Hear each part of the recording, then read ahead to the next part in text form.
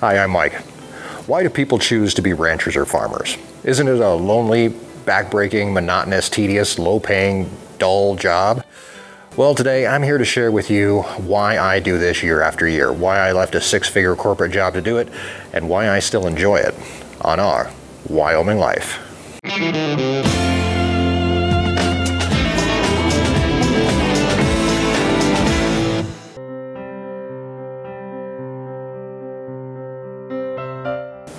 Welcome back to Our Wyoming Life, and thanks for coming along and exploring the ranch life with us.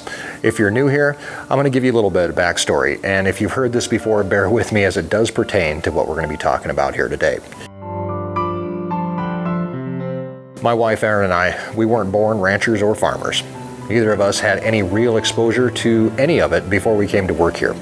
We both worked in the corporate radio world for some of the top markets in the United States, but all that changed when Erin's stepdad became sick and asked for help running the ranch here in northeast Wyoming.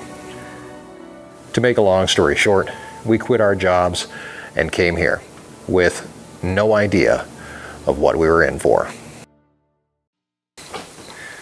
At that time, I believed almost every misconception about ranchers and farmers, from the old MacDonald character bumping through the fields in his overalls on his little tractor, or somebody out tending to a few cows. Assumptions are easy to come by. Even my first few months here, I saw the land, I saw the equipment, and coming from a management background at that time, I saw the massive capital that it kept to keep this place running. I learned over time that most operations like ours operate on one paycheck a year when we sell calves. And I also learned that the profit can come and go very quickly based on repairs, weather, or even disease. Over my first couple of years here on the ranch, I was lucky enough to have my father-in-law Gilbert here with me to coach me along. But I also saw the toll that ranching for a lifetime had taken on him. Towards the end of his life, he was bitter and he was angry. He would tell anybody that will listen, don't ever get old, like we had any choice in the matter. He was mad at the world. He had a job that he loved his entire life, taking care of the land, the animals, and the ranch. And he knew he couldn't do it anymore. The two years that I was here with him, driving him out to the ranch almost every single day so that he could drive his gator around and turn on water or go look at the cows. I realize now that I was enabling him to continue his life on the ranch to almost, almost to the very end. I know for a fact that he wanted to die alone here on the ranch. Instead, he did so in a hospital in Casper, but not alone.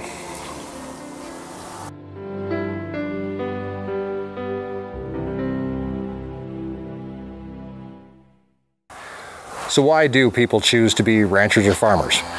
Is it a lonely lifestyle? No, but it can be lonesome.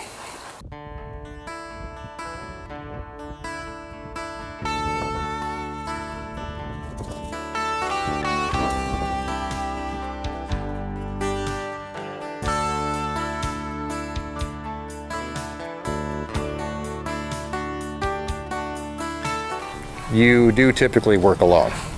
And there's a reason that most tractors only have one seat. And tractors can sometimes become your office, the boardroom, and the conference room, giving you a place to, well, that you can spend hours thinking about the budget or what needs done next.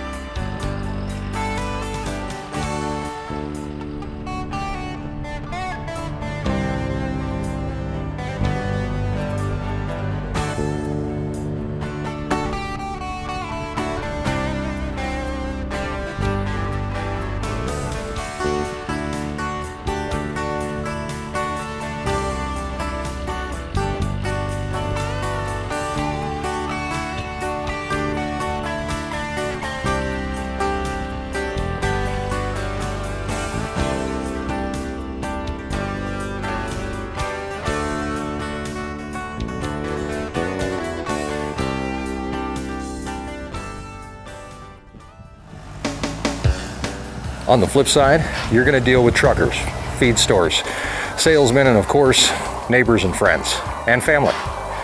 Ranching and farming isn't lonely, nor is it isolating.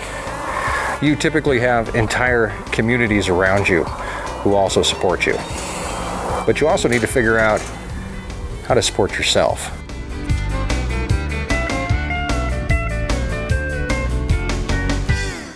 Because when it comes to the money, well, you're going to be the last one that gets paid.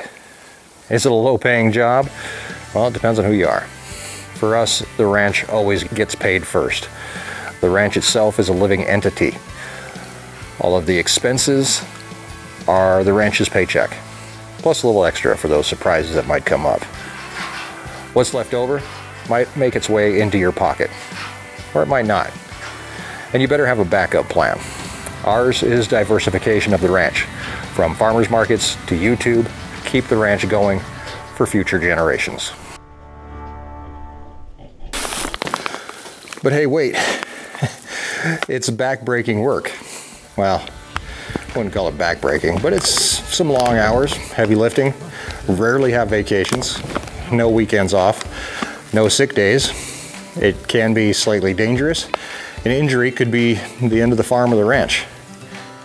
You can get one good night's sleep and hope that you have enough energy to last you for two days. But the real question should be, is the work worth it?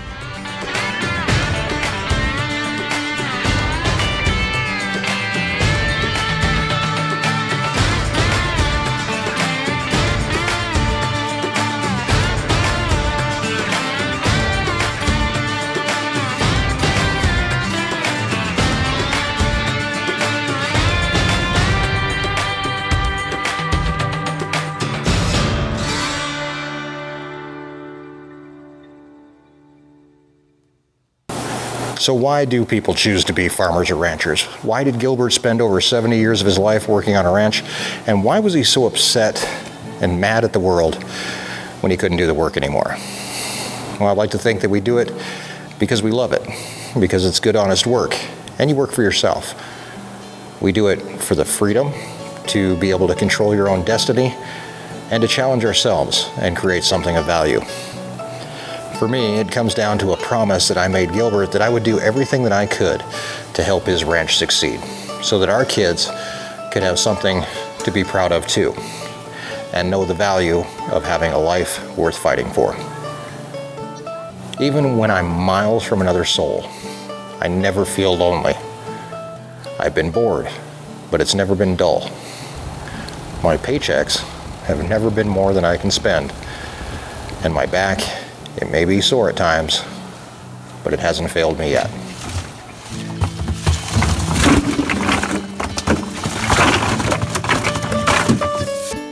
There's no place else that I'd rather be.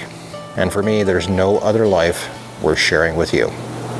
Thanks for coming along and exploring the ranch life while escaping the ordinary. I'm counting the days until I can go outside again in a short sleeve shirt, and that day is coming. The cows are waiting for a few nice days, hopefully, to start having calves. And I know that Erin is waiting, well, rather impatiently, to start planting for spring. It's all on the way soon, along with another season here on the ranch, where things are going to be evolving, changing, and growing in ways that will hopefully blow your mind. Subscribe and join us, and follow us on Facebook and Instagram for a ton of behind the scenes material that you can't find anywhere else. Coming up this week, we get ready to move out the pigs as their days on the ranch are numbered. And we have a brand new live stream on Thursday this week with special guest Zach Johnson from Minnesota Millennial Farmer.